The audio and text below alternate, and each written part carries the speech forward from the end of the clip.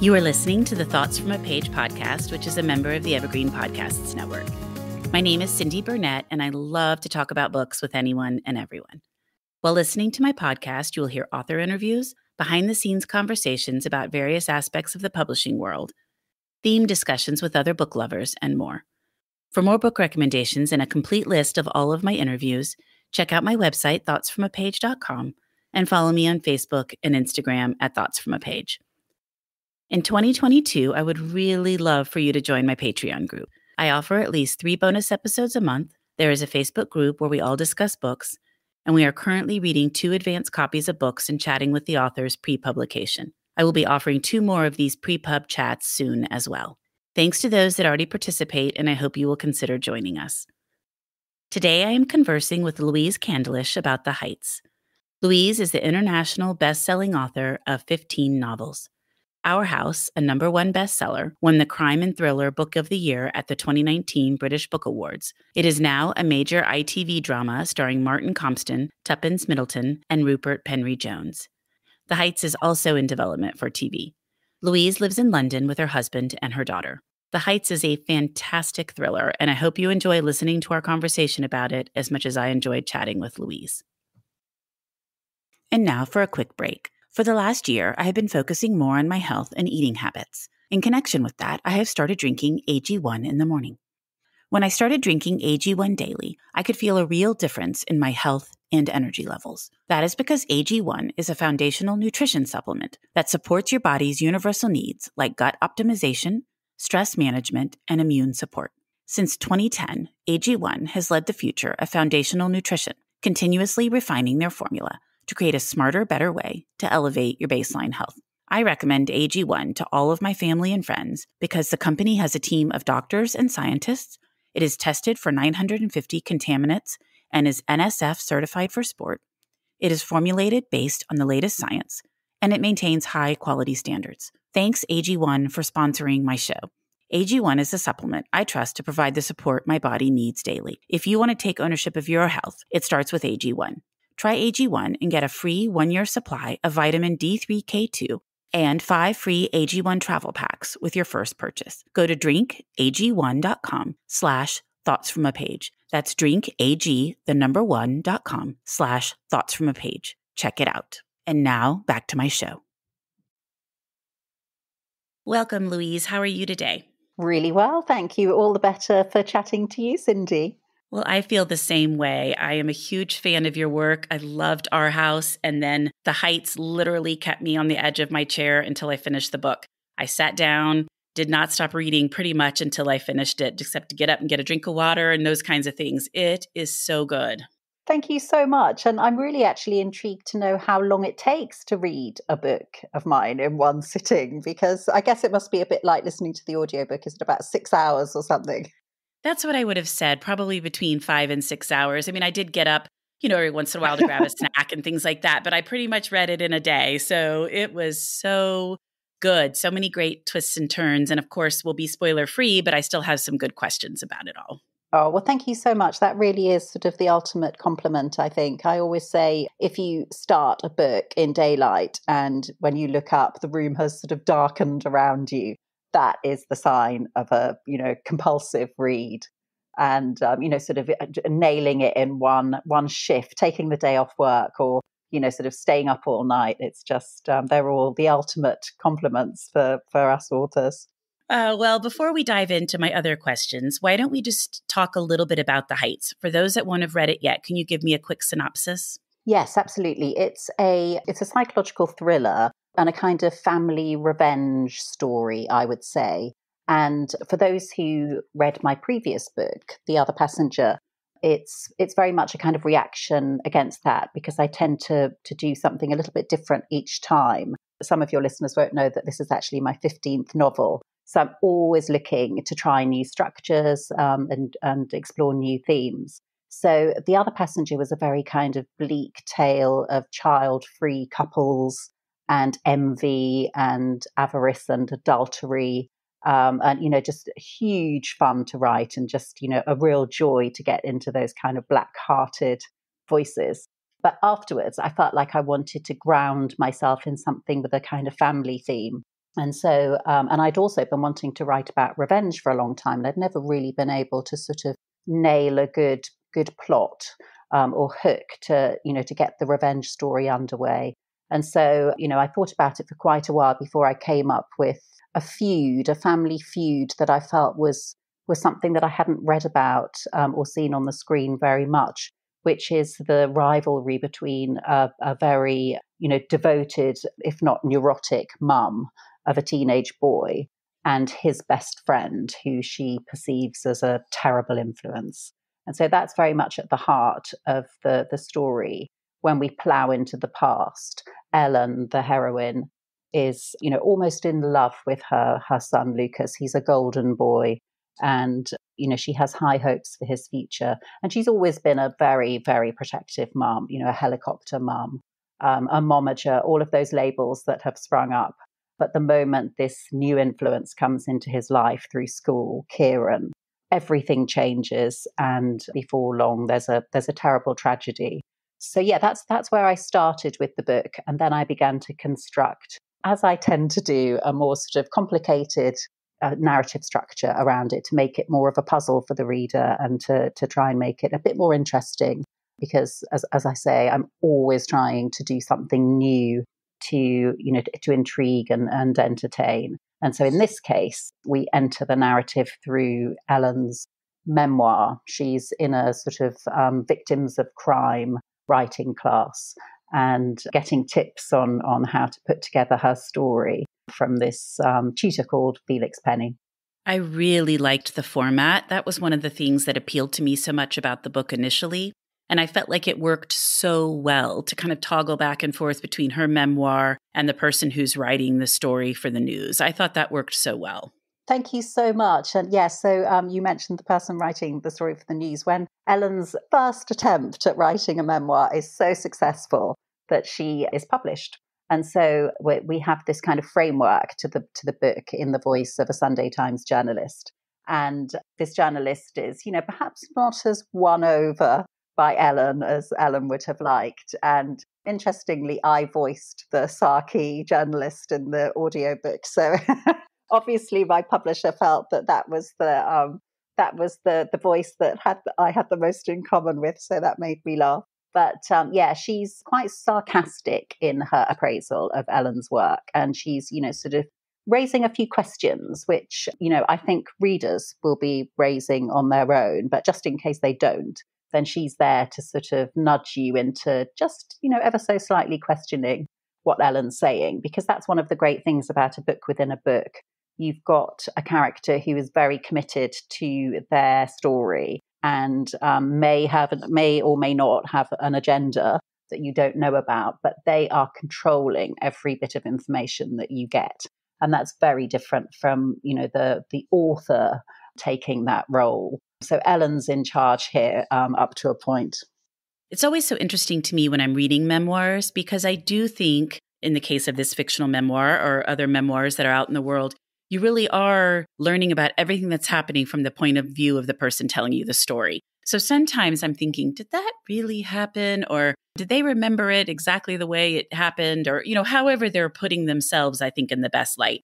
And of course, in this situation, you write Ellen's memoir the way you write it on purpose. But it's just one of those interesting things to think about when you're reading a memoir. I think it really is. And I'm really intrigued by that. And, you know, it's that whole idea that, you know, no two stories are the same and that the truth is probably somewhere in the middle. And actually, when I conceived the, the story and when I was plotting it initially, I thought that the whole thing would be Ellen's memoir with these, you know, useful little interludes by the sarcastic journalist in the Sunday Times but after a, you know quite quite soon into the writing i you know i just realized this was not going to work that we had to have another entry point into this story to see what was true and what wasn't. And so you know vic is a co-narrator. We we hear from him. He's ellen's ex-partner and the father of lucas. And we um, we get to hear from him after a little while. But initially, I hadn't conceived of doing that, and so it, it just shows that, you know, after 15 novels, I still am learning on the job. Because, you know, when you try something new, you, you know, it's quite rare for it to go seamlessly first time. And so, um, so I did have to rethink quite, you know, in in quite a, a major way once I'd started writing, which which was quite unusual. But I'm really glad because, you know, as it turned out, it involving Vic as a co-narrator really helps, you know, sort of fill the gaps in Ellen's own story. Absolutely. And that was one of the questions I had for you. Did you have every twist and turn plotted out, or did some come to you as you wrote? And how the format came about. So you kind of answered the format part of it, but did you have everything else plotted out? Are you a pantser or a plotter? I'm a plotter generally, but I try to keep an open mind because I have found that good ideas do strike. And then there's a you know period of exhilaration when you think, oh my god, this is a stroke of genius. I'm going to change everything. And then usually, you know, having slept on it, I'll think, is this more trouble than it's worth? I'm actually quite far down the line here. And, you know, even the tiniest detail that changes radiates out. You know, if you change um, someone's birthday or, you know, something happens on a Monday and, it, you know, initially you, you thought it was going to be a Saturday, it's incredible how problems radiate from a tiny change. So to introduce an unexpected twist just because it's, you know, you've had that light bulb moment, you know, it's not it, it's it's not to be taken lightly. I'll have to think it through and see if it if it works. So in this case, the twists and turns were planned. I usually start with the crime or the, you know, the moral dilemma that's at the heart of the book. And in this case, there is criminal activity. And so I had all of that plotted out. I had who done it, how they did it, what happened afterwards, you know, all researched before I got underway. And um, it's not a spoiler to, to let everyone know that in the very first scene, Ellen, who is a you know civilized 40 something lighting designer, she's on a job with a client and um, in a you know very posh and historic part of central London. And she looks out the window and on the roof terrace, she sees Kieran, who is um, Lucas's friend, who who I, I mentioned earlier and um, she can't believe her eyes because you know she thinks he's an apparition. It, it, can't be him. She knows it can't be him. And within a few pages she has admitted it can't be him because he's dead. And she knows he's dead for a fact because she killed him. So yes it's i knew right from the start that i was going to open with that scene that kind of you know it's almost a kind of classic noir thing of looking out the window and just happening to be at the window at the at the that very moment when the wrong person appears in your eye line. And this is exactly what happens. If she hadn't been at that client's flat on that day, just as he went out on his roof terrace, she would never have known that he was still there in London, alive in her life. And you know, of course, from a from a reader's point of view, I'm I'm very much hoping that they'll be saying, "Hang on, she seems like quite a nice lady. She's professional. She's got a good job. She's bantering nicely with her client. What's what's she doing? Admitting to having murdered someone. You know what what on earth has happened to make this you know middle class, um, apparently um, well heeled woman with a happy family, as far as we know. What what on earth has happened to to make to get her involved in you know the worst possible kind of crime? It was a great hook. I was like, okay, I have to know more. And the other thing, and I don't think this is a spoiler, that I like that you included after she thought she saw Kieran there and she's trying to decide if it's him or not, at some point in the story, you talk more about how she thought she'd seen him elsewhere and it never was him. Because I think that's something that the human mind does a lot. And if there's someone out there, not necessarily someone you've killed, but someone that, you know, you you have I don't know what it is. You miss them, they've passed away, whatever. You think you see them, you know, kind of regularly. And so I liked that you had her seeing him elsewhere as well and that those had not played out because then you're really doubting did she see him? Did she not see him? I thought that was great. Yeah, and then of course when she reports what she's seen to Vic, you know, he dismisses it in in exactly that way. I think it's it's very much a, you know a, a characteristic of grief um, not to give too much away about why why she's grieving, but you know, it, it, it's a post traumatic thing, and you know, I think when we lose a loved one, or you know, even if it's a you know the the ending of a relationship, and you know, nothing terrible has happened to anyone in in the in the picture, I think you can sort of think you see someone.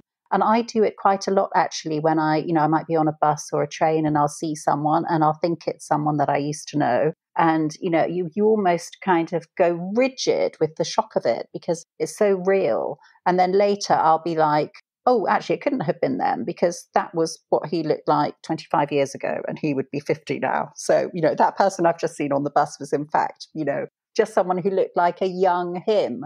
And so it has a lot. And, you know, they say we do all have doppelgangers and, you know, there, there are, there, there's room to doubt that feeling. And, you know, one of the things that I'm exploring in this book is, you know, this just certainty that Ellen has that she is right. And, you know, we meet these people and they will not budge from their conviction. And she absolutely will not. No one can persuade her that anything different has happened from the story she has she has accepted as the truth. And this underpins everything. So it doesn't matter who tells her she's imagining things in her sighting of Kieran Watts. She knows it's him. So yeah, there's a there's a lot going on. There's a lot of layering in this book, I think, and there's a lot for for readers to to get their teeth into. You know, what's real, what's true. Do we trust her? Is she relatable or is she crazy? I'm in a you know sort of um, fortunate position to know how readers have responded in in the UK where the book is already out, and I've been both surprised and relieved by the reaction to Ellen, which is is very favourable. I thought people would think she was an absolute you know lunatic, you know far too far too overprotective of her children, you know, crazy. But interestingly, parents really relate to her and they're like, oh, I could I could see myself having exactly those feelings in that situation. Maybe not acting on them. Maybe that's the different maybe that's what fiction does. Fiction is the acting on, you know, impulses and um, you know knee-jerk emotions that we all feel and fiction lets us see what would happen if you actually you know did something about it and that certainly sort of sums up what this book is i think it's you know a parent acting out a monstrous overreaction to a terrible situation. That is so funny that you say that about ellen because my very next question was I was going to talk with you a little bit about Ellen because I found myself vacillating between really sympathizing with her and then at times being like, oh my gosh, woman, let's get it together. But I really did over and over again. As a parent, I have three teenagers. Oh my goodness. I kept thinking, I could see where she could do some of this. And then I thought, does that make me insane? So, you know, it was one of those things that I really did kind of feel and understand what she was going through some of the time. And the other thing it really made me think about is I think there's so much to unwrap in this book. There are so many layers and so many things to think about in sort of everyday life, but how much power we have over our children and how much influence others have. And that was the thing that I kept thinking about with Kieran. How would I have acted if I had a child that brought this person home that clearly seemed, I don't know, diabolical is too strong, but like unsettling, or maybe that everything wasn't working like it should be? It's really a difficult thing. It really is generally, I think in the UK and in the States, we're very, very close to our kids. We've got a much closer, almost intimate parenting style compared to, you know, the one that we experienced growing up. And, you know, there's so much social engineering, isn't there, in the in the friendships. You know, you can when they're young, you can arrange the play dates, you decide their activities, you're, you know, sort of uh, we're sort of doing everything with them and, you know, living their lives if not for them, then we're kind we're we're living alongside them. You know that kind of hearts beating as one. But there comes a time, inevitably, usually around the teenage years, maybe a little bit earlier, where they no longer want our presence. They don't need their little friend by their side. They don't want their mum doing their social diary and saying who's coming over after school. And so, you know, it's a real shock to someone like Ellen who has, you know, she's got a few psychological issues anyway and she's quite controlling you know to her it's it's extraordinary and it happens quite late in lucas's childhood that he simply doesn't need her anymore and he's making his own choices about friends and the one he's chosen is Kieran, and Kieran is, as far as Ellen is concerned, the last person she would have chosen. And then you have this kind of complicating issue that he's a socially disadvantaged boy, he's a, a foster child. Her son Lucas has been chosen by the school to buddy him because he's such a nice guy. And so, you know, she's proud of that. But the moment she meets Kieran, there's this kind of, you know, guttural antipathy, and he seems to feel it as well. And, you know, this was what I was really interested in initially was this kind of, you know, because sometimes we meet people and we just know we dislike them and they dislike us. And, you know, it doesn't happen that often, but this is one of those cases. And, you know, so that horrible double whammy of, of her meeting someone who she loathes and she knows he loathes her and it's going to be a, a really rocky ride. But it, he's actually taking her place in in her son's affections. And so it, it's horrible. I mean, it, it is like a worst case scenario. Even if you think she's overreacting to Kieran and he's not that bad, it's still, you know, a horrible thing to have your your, you know, beloved child withdraw from you. And you know, it's a tough thing in parenting, isn't it, when you have to step back and, and let them be independent. But from her point of view, in this situation, she sees him throwing away everything. You know, he starts partying, he's doing drugs. He was going to be applying to Oxbridge. Suddenly, he's not getting the grades for any university. He's simply not fulfilling his potential, and and she knows who's to blame for that. It's that loss of power. I think this this is a particularly interesting age to write about, and I'm, and I've written I'm writing about it in a new project actually, and it is you know these are young adults and you simply can't control them or punish them in a way that you might consider doing for a younger child. They don't really care what we think.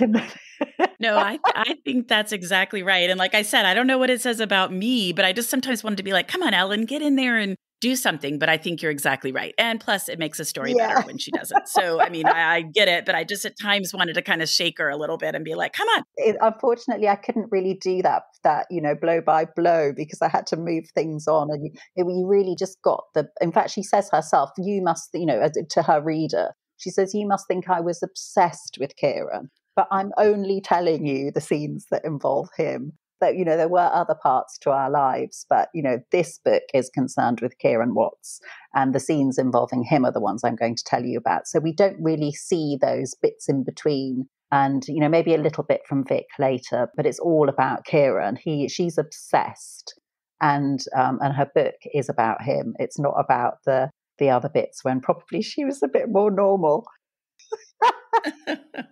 But I also think that's what makes it a good book. I mean, if I'm sitting here reading about this character, identifying with her, but also kind of mad at her, saying, "Why didn't you do this?" I mean, that that to me is a great story because you're in the midst of it all, kind of thinking, "Oh, it would have gone better for you if you'd done such and such." You know, I, I think that all makes the book. I think it does, and it's and it's such a key part of uh, of suspense and domestic noir. That idea of don't do that. You know, you're practically kind of looking through your fingers, saying, "Oh, if."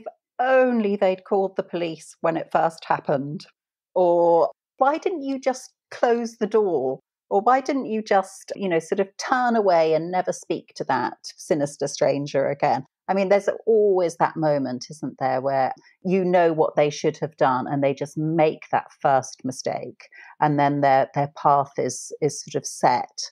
And and I think that's that is a part of the genre. It really is because if they were acting in a commonsensical, rational way, I don't think the story would develop in the same way. And on that note, um, regular readers of mine will know how often I use phobias, and my characters will often have a phobia. And um, and Ellen indeed has a phobia, and the reason I love them is that they make you act irrationally because they are irrational fears, and so they make you react to situations and develop these kind of safety behaviors that a rational person wouldn't do. And so it, it, it means that it, it can lead the story in different, more frightening directions. Absolutely. I was actually so interested when you introduced the phobia, and I figured that was going to be a part of the story. Let's talk a little bit about that phobia. Is it a real one?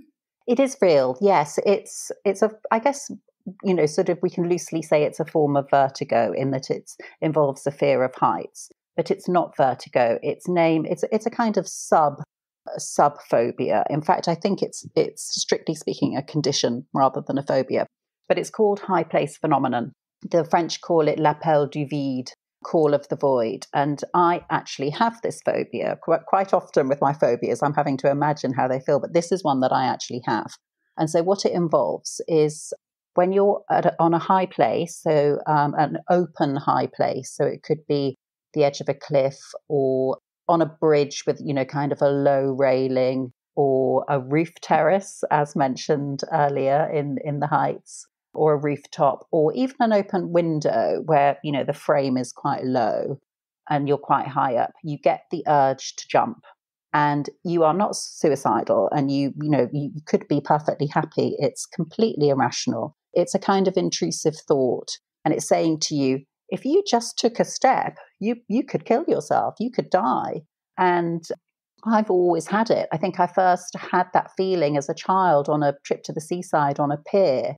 And at the end of the pier, I thought, in a, in half in a split second, I could just leap over and jump, and I'd probably die. I still wow. remember having that feeling, and um, it's been so interesting talking about it. Um, you know, sort of um, in relation to the heights, because quite a few people have it. I'd say you know, this isn't a scientific bit of data, by the way, but I I think there's probably about one in 10 people seem to have it. And it has little other elements that people recognize. For instance, it sounds so crazy, but it's true. But it, say you're walking over a bridge, and I'm constantly walking across the Thames over different bridges, you have the urge to throw your bag into the river. Really? Yeah, it's like it's a self destructive urge you hold on really tight and you walk down the middle of the bridge and people are like lady you're in the middle of the road. You're like it's okay. Yeah. i can't be on the side. It's so crazy but it's quite terrifying because it's not you right. it's not it's not part of anything else. It's like it's an intrusive thought. But you know i'm i'm living proof that you can just get on with your life. I don't tend to do things like go up to the top of a lighthouse or you know if someone's if, if a friend suggests a walk along you know the the cliffs of Dover, which is where Ellen happens to be brought up. These you know enormously high cliffs where you can get quite close to the edge, and you know there's a famous suicide spot there. Actually, I would never go on such a hike. I don't tend to put myself in um, the situation where I might be tempted, but it, it is it is extraordinary. So it's called high place phenomenon. She has this, and as you can imagine, having having set up the story as, as I just did, you know, the next step is for her to go up to this flat where she thinks she's seen Kieran reincarnated and discover if it's really him. But for her, that involves, you know, this this extra jeopardy of overcoming, you know, this fear she has. It, it was going to take a lot to get her out on a roof terrace. Was that interesting for you, Louise, writing about this condition that you have? Yeah, absolutely. It was it was a really good form of therapy, really, I suppose. But it also meant that I could describe the feelings quite easily, you know, without without needing to do any research for once. well, that is nice. Exactly. You're like, I, I'm living this. All I have to do is jot it down. yeah.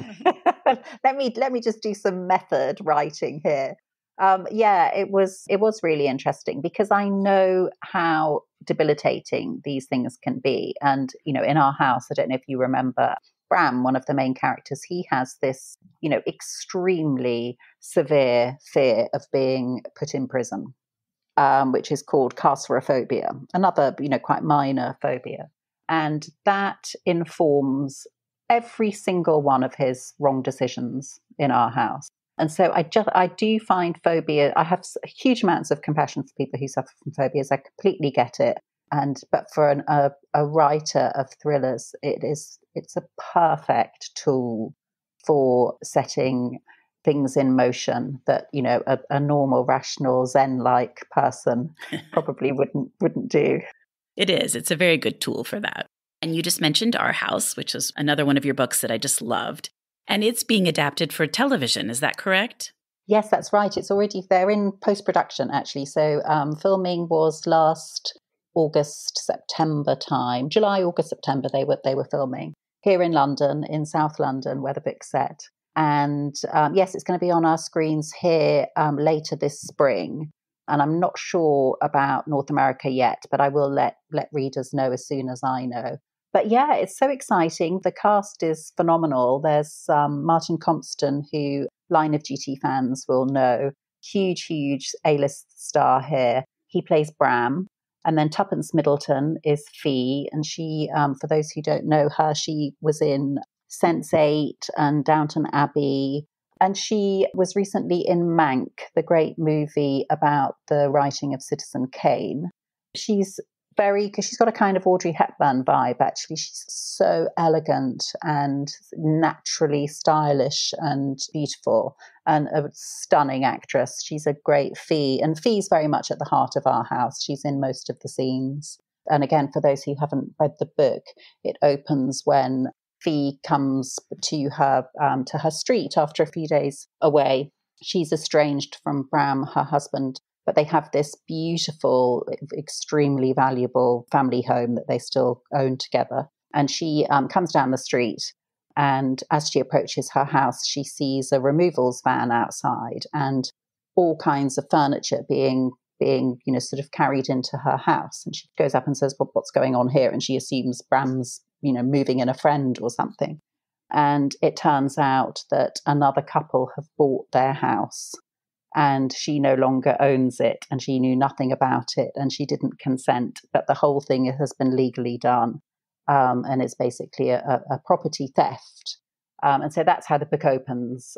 You know is it's not my imagination. It is a real crime that has taken place. I mean it is my imagination as well. I've i've put it in a in a family setting but that kind of attempted fraud and house theft is extremely common so yes, there, will be a, a real um, helping of property terror on our screens very soon, and I really hope you get to see it in the US. I think you'll love it. It's so stylish. It's, I went to the set a couple of times. It was all quite difficult because we had the COVID restrictions then, and um, you know it was lockdown.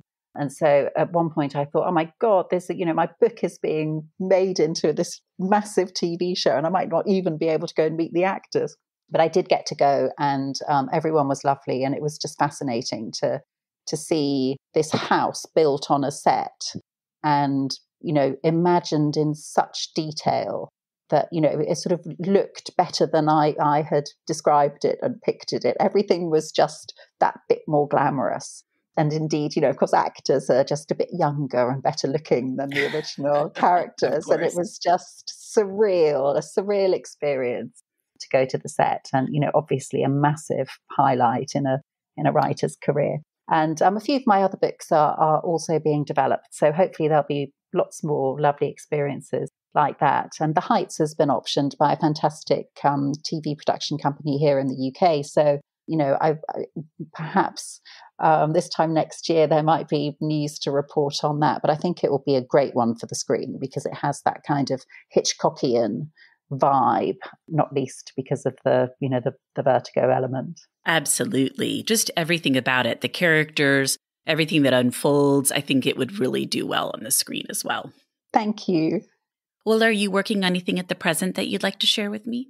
I am working on my next novel, which again, I think it's a kind of, you know, I, I was saying about each novel being a sort of reaction against the one that came before. And so this one is the first time I've got really gone back in time.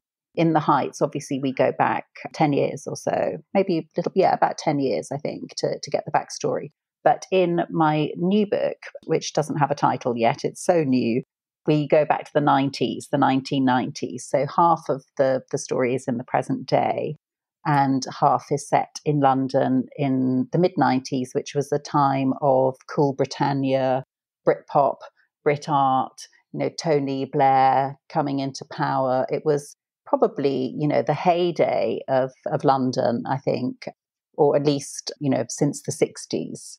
And um, and I was young then. I was in my early twenties, and it was really good fun to set part of the story then.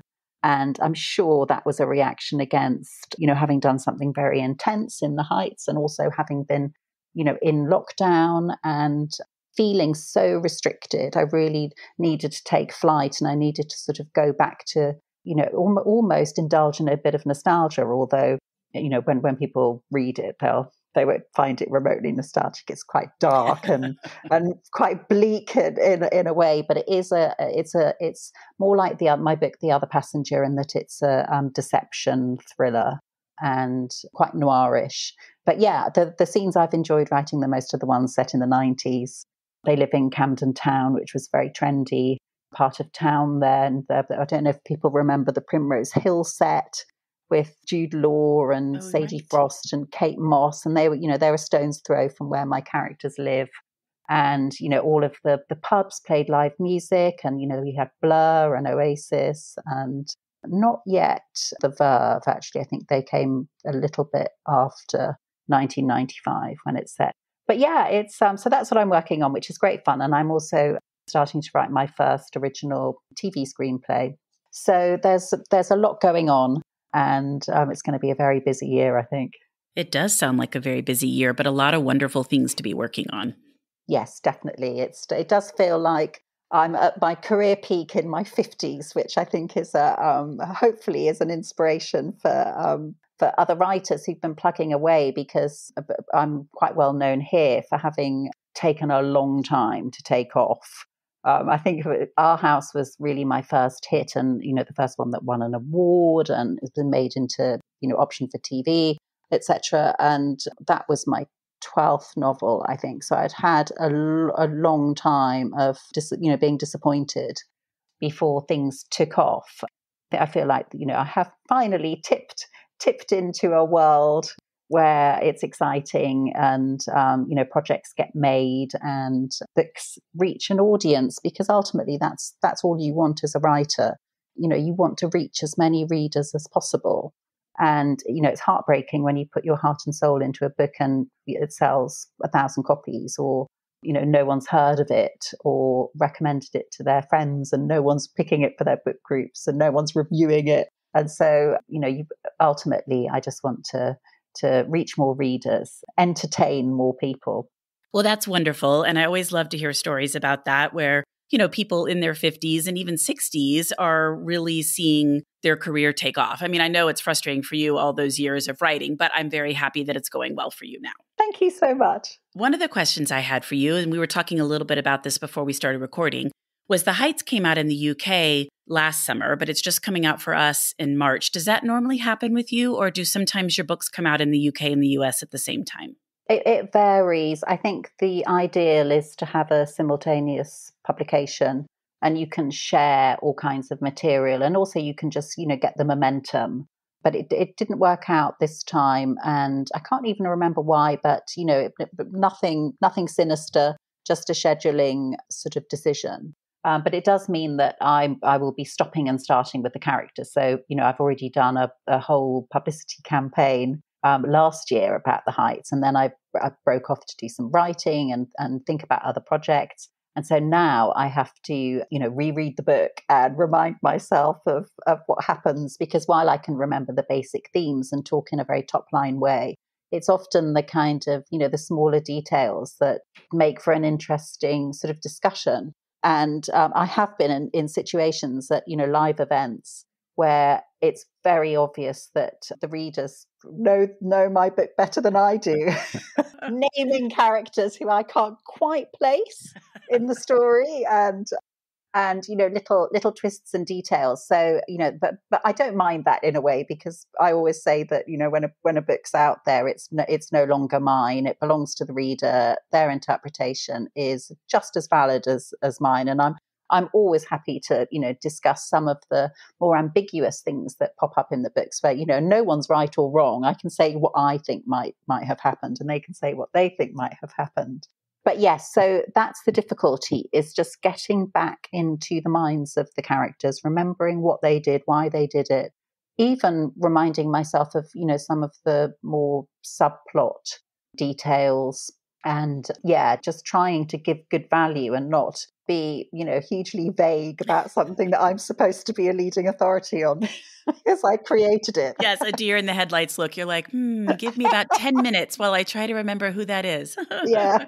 And very well, it could have been COVID here. I know we've had so much disruption in the publishing industry and books being pushed back and scheduling issues. So it may just be that they thought they could get it out better with no printing issues now. Yes, I think actually what it was was I changed publisher, and so oh. um, so the other passenger was the first of this new deal with with my new publisher Simon and Schuster um, in the US, and and so there was a delay because I switched publisher. So the other passenger came out a bit later, which meant that the Heights has come out a bit later as well. But it's we should we should be able to catch up with the next one. So the '90s one, hopefully, I'll be able to to do all of my publicity in in one one fell swoop. Um, but yes, it's nice though because you know, I, as I say, I have been in situations in the past where a book's been published, it's been on the shelves for about a month, and then you know it's flopped. No one's bought it. No one knows about it. No one asks me a single question. So it's an absolute delight to to have round after round of interviews and events about the same book because you know ultimately you want them to to endure and to you know to be read for years not just in that kind of sweet spot when um, the reviews come out.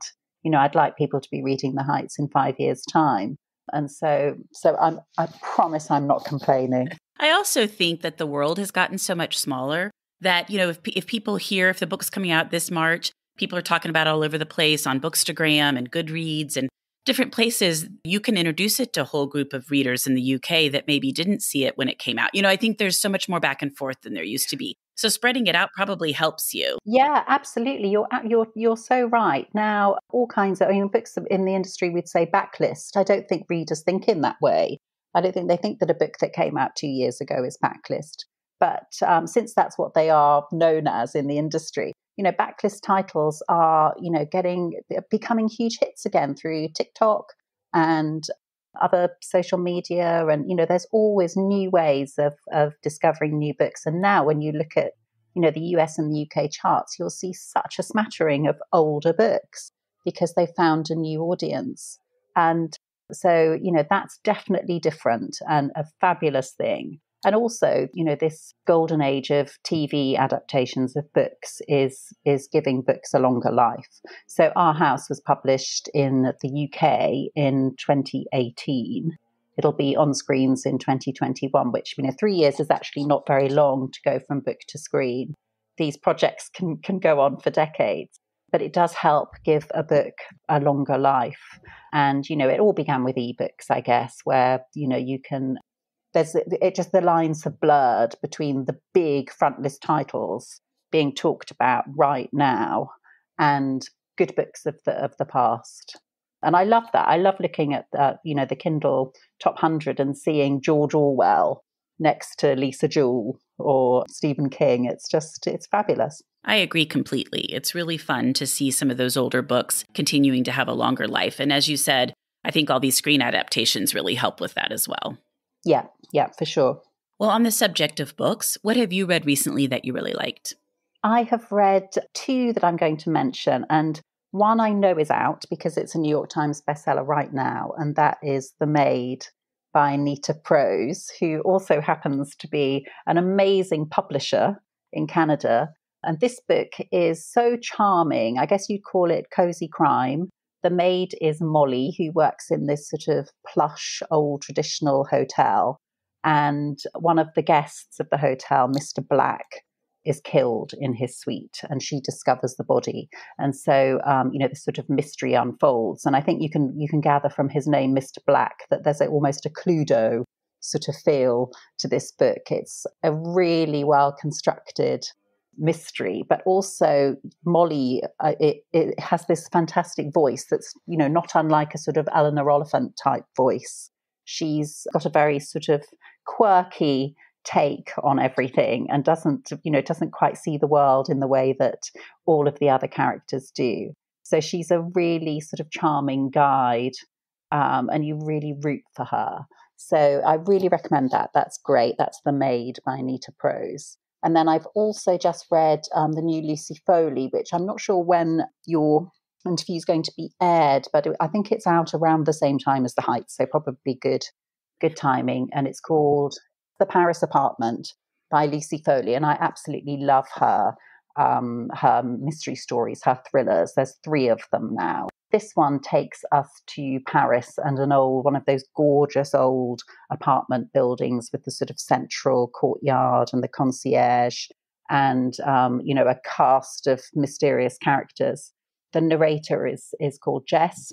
And she is, um, you know, this broke Brit who's turned up to try and blag a stay with her her brother, who she, you know, they were brought up in different families, and so she doesn't know him that well But, you know, now's a good time for her to um, get to know him better because she's, you know, running away from something in the UK. But she arrives at the apartment building to find that he's gone. He's not there. He's mysteriously disappeared.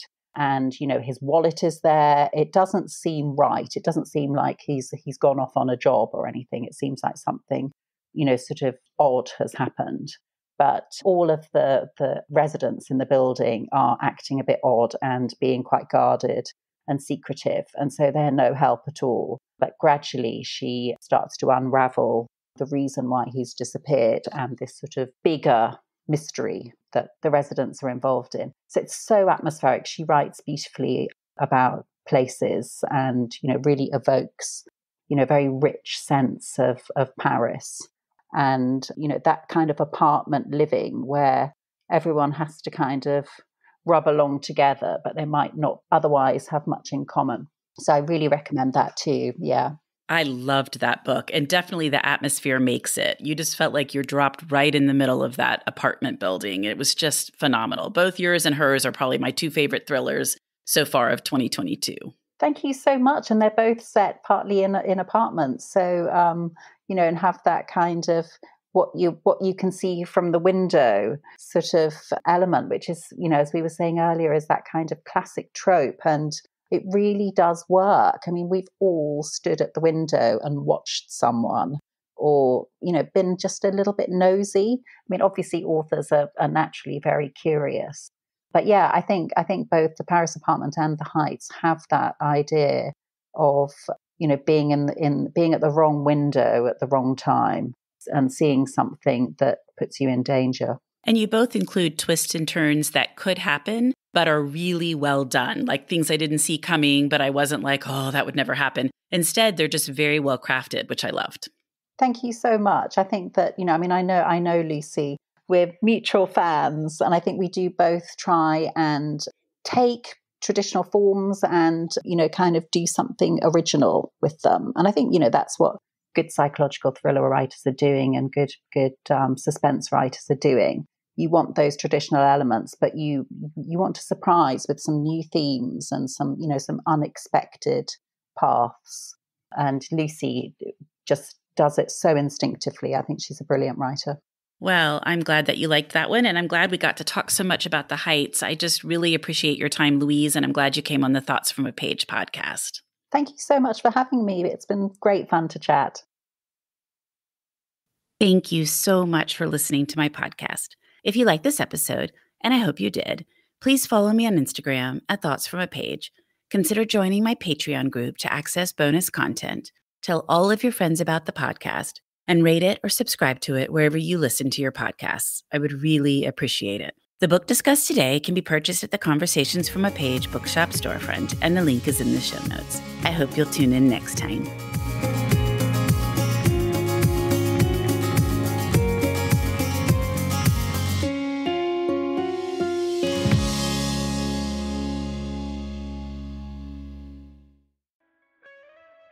Hear Her Sports is a podcast for everyone who loves stories by and about women striving to improve and make a difference in their lives. I am your host, Elizabeth Emery, a former professional cyclist. In every episode, I introduce a female athlete or woman in the business of sport through a thoughtful conversation about who they are and the terrific work they're doing. My guests and I explore the glorious and frustrating issues in sports, history, equity, training, nutrition, and so much more. Join us for inspiration, for community, and for love of being a strong athletic woman.